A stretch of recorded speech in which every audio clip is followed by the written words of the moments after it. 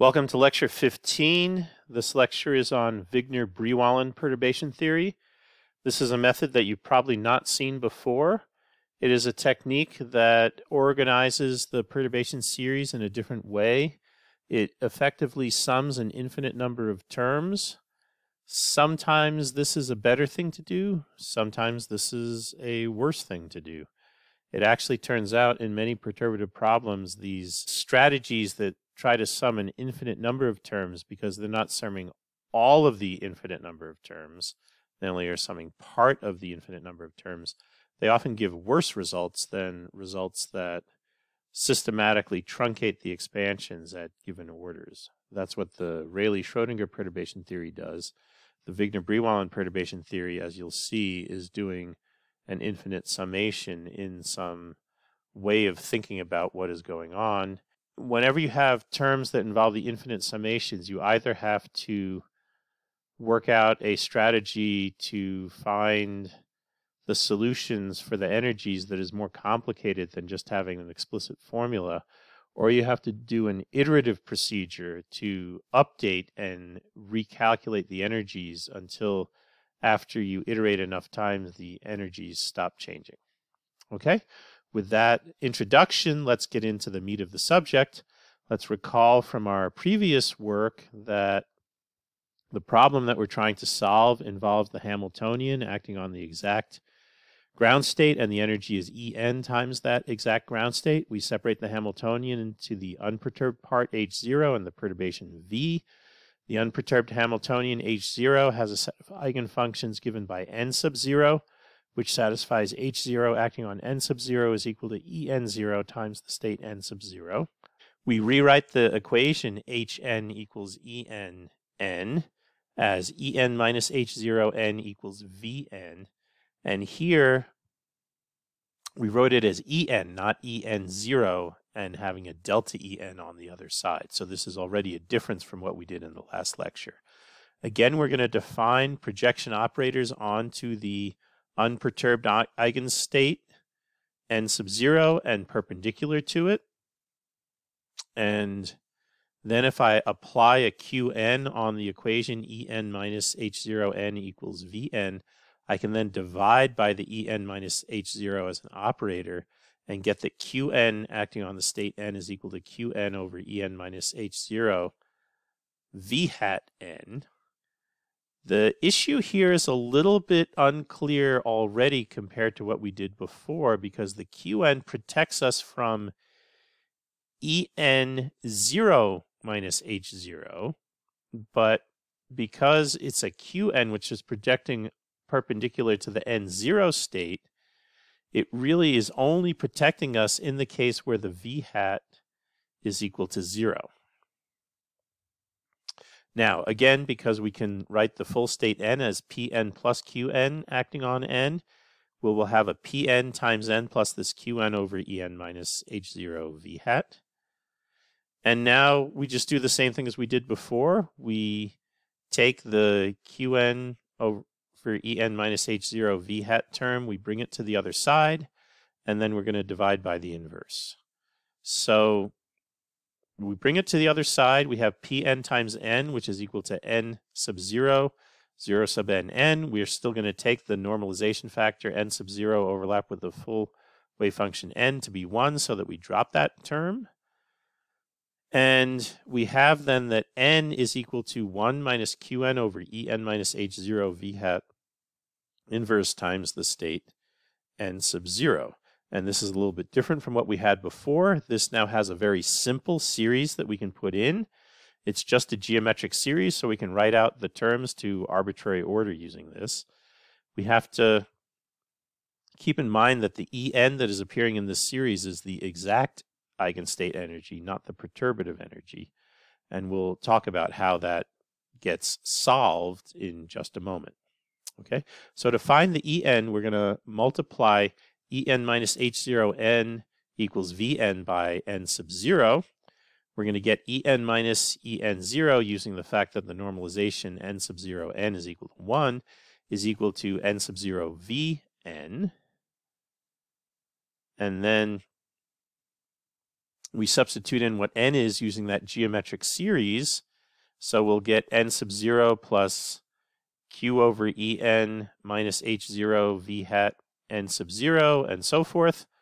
We bring the en 0 from the left-hand side to the right-hand side, and we get en is equal to en 0 plus vnn plus the sum m does not equal n vnm vmn over en minus em0 and so forth. And here the key thing is that the en appears on both sides. This is a iterative equation or it is a complicated equation that we now have to solve for en. But the series is much simpler than what we used before. Now, as I had mentioned before, the real downside of this, because this acts as if it's summing an infinite number of terms from the original series, is that it often is less accurate than the standard Rayleigh-Schrodinger perturbation series. So to summarize these results, the full series for n becomes n is equal to the sum m equals 0 to infinity, q over en minus h hat 0 v hat raised to the mth power, multiplying on the state n sub 0. En is equal to En 0 plus Vnn plus the sum m does not equal n Vnm Vmn En minus Em 0 plus a double sum with the restrictions on m and m prime of Vnm Vmm prime Vm prime n with the two energy denominators and then you'll get a term with four V's and three energy denominators, and the general term has MVs and M minus one energy denominators. And all of the terms have a restriction where the EM0 does not equal the EN. Even though when we plug in the correct EN, that term would not be infinity anymore, that is still the way that this series has been derived, and so we always have to remove that one term. All right, let's take a look at an example.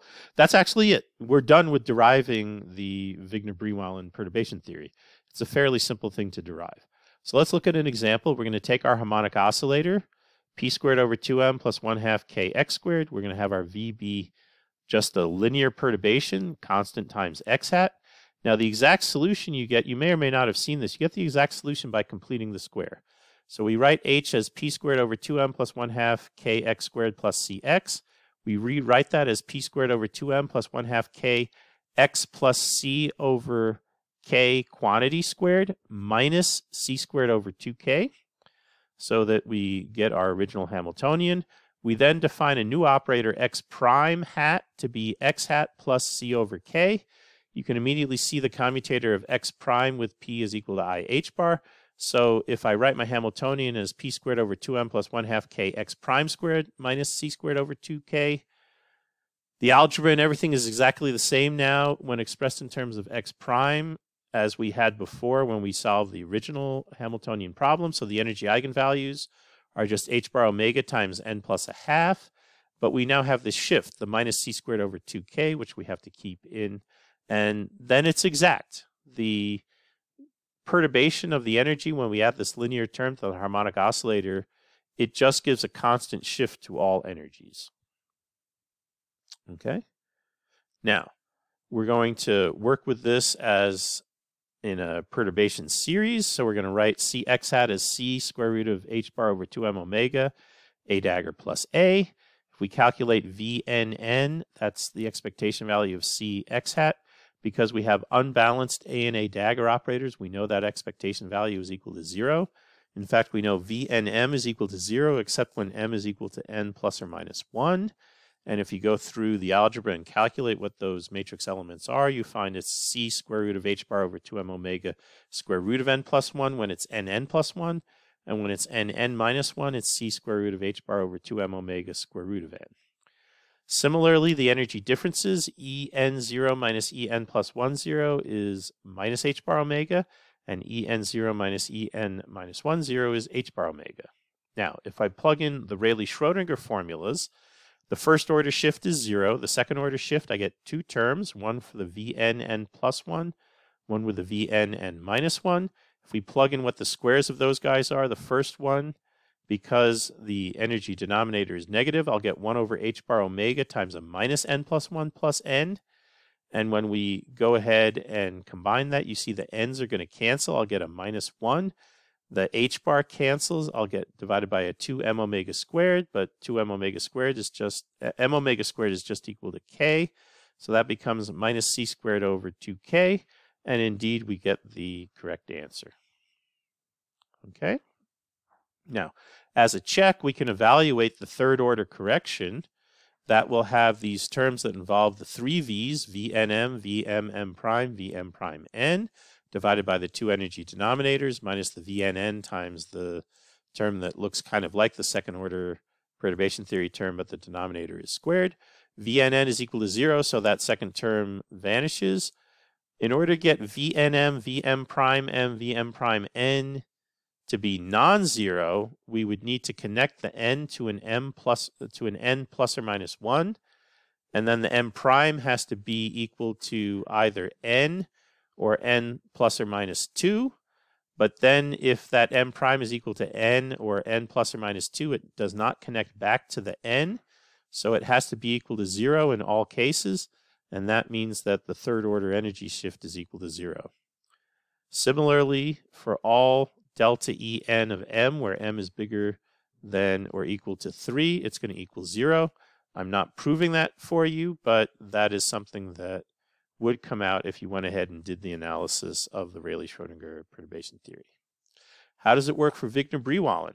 Well, again, we just have the two terms in that second order contribution, and all higher order ones are going to be 0.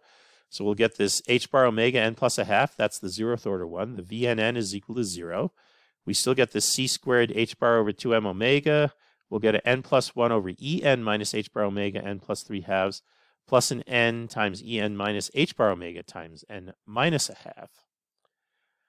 And now you see the en is on both sides. So we're going to multiply by this product en minus h bar omega n plus 3 halves and en minus h bar omega n minus a half in order to get a cubic term on the left-hand side and then we have to simplify the terms on the right-hand side. We're going to get a quadratic times these two terms that have to be added together. And now you have to go through the algebra. There's a lot of algebra to go through to get this into a simple form for the equation. It's a cubic equation that we get. That cubic equation has three roots to it. Okay, so there's some simplifications of the cubic equation. I do encourage you to pause the video, make sure that you can derive this cubic equation, and then look at the simplifications that we're getting as we go through this, all the way to getting the final result. Okay, so we have a cubic equation here. And if we could factorize this, we would be able to get uh, see whether or not it gives us the exact answer. So let's go ahead and plug in what the exact answer is and see if we can factorize it. But we find that it doesn't actually work. So if I take En and I subtract h bar omega n plus a half minus c squared over 2m omega squared, which then becomes a plus c squared over 2m omega squared, and try to see does that exactly divide this term, this polynomial here, we find that it does not. There's an extra term that's present there. So the result has an error of the order of c to the sixth over 2m omega squared cubed. So some of the roots of this cubic equation are incorrect. They're non-physical because there are three roots that we find. And we find that this calculation is not going to give us the exact result to second order, which means that there are some third order, some higher order contributions that are present that we need to actually calculate in order to get the eh, correct result. And that is somehow coming from this infinite summation of terms. And in general, what we find is this Wigner-Brillouin perturbation theory is less accurate than the Rayleigh-Schrodinger perturbation theory, as must be the case here. Even though I haven't calculated for you exactly what the root is, we know that the exact result is not a root, and that means that there are some issues with this, that the roots that you will get will be slightly off. And that means that you need to have some higher order terms to put in that will correct those roots and ultimately give you the exact answer. All right, so let's do a explicit check of this with n equals 0. When I plug in n equals 0, the equation simplifies. So let's plug in n equals 0. Then the equation we get is E0 is equal to h bar omega over 2 plus c squared h bar over 2m omega times 1 over e0 minus 3 halves h bar omega. The other term, the term where I would be lowering the energy, does not exist because I can't lower below the ground state energy. So in this case, I just get a quadratic equation. If I multiply by the E0 minus 3 halves h bar omega, I'll get E0 squared minus E0 times 3 halves h bar omega on the left-hand side. I'll get plus h bar omega over 2 E0 minus 3 halves h bar omega plus c squared h bar over 2m omega. Let's bring everything over to the right-hand side to make that a quadratic equation. I'll get E0 squared minus E0 times 2 h bar omega plus 3 fourths h bar omega squared minus c squared h bar over 2m omega, and that equals 0. There are two roots of this. I'm going to get h bar omega plus or minus 1 half, the square root of 4 h bar omega squared minus 3 h bar omega squared plus 2 c squared h bar over m omega. That becomes h bar omega plus or minus 1 half the square root of h bar omega squared plus 2 c squared h bar over m omega. We're going to take the minus root because it turns out in perturbation theory, the ground state energy is always reduced. And, and we also need to take the minus root because in general, we have to make sure that at in the limit where C is equal to zero, the energy will reduce to the energy that we would get for the unperturbed problem, which we know is h bar omega over 2. So we have to take the minus sign, take the minus root, and now if I expand that square root in a power series, what you will find when we do that expansion is that we will get the exact result plus a correction term that is of order v to the fourth. So we have this extra term plus 1 fourth c to the fourth over k squared 1 over h bar omega. That term shouldn't be there. So this answer is only accurate up to the order of v to the fourth and I have to put in a fourth order, I have to do a fourth order calculation to properly get the result through fourth order, but then I'm sure I will have an error to the order, to the sixth order. So in general, in this case, we have the situation that Rayleigh-Schrodinger perturbation theory gave us the exact or eh, answer at second order, but Wigner-Brillouin perturbation theory is going to have to actually go to infinite order to give us the exact answer because the infinite number of terms that are summed are not all of the terms. The correct answer for the infinite summation is zero, but because we only have a partial summation, we're getting a non-zero result for the infinite summation of terms that we're including at a given order, and that is hurting us. Now you could argue that, well, this is a very special case. It truncated at second order. If I looked at another situation, maybe uh, Wigner-Brillouin will be better. There are some cases where Wigner-Brillouin does actually give you better results, but this is not generic usually the Wigner-Brillouin will give you a worse result.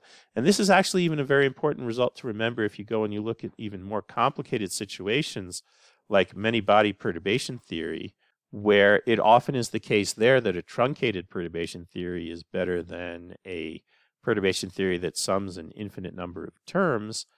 But people often like to do summations of an infinite number of terms because they think it will be better, and that often is not the case. And that is just something for you to keep in mind now that you know the difference here. If you ever get into more advanced work with many body perturbation theory, that sometimes the truncated perturbation theories are actually better than the perturbation theories that try to sum an infinite number of terms. Just a useful fact to keep in mind.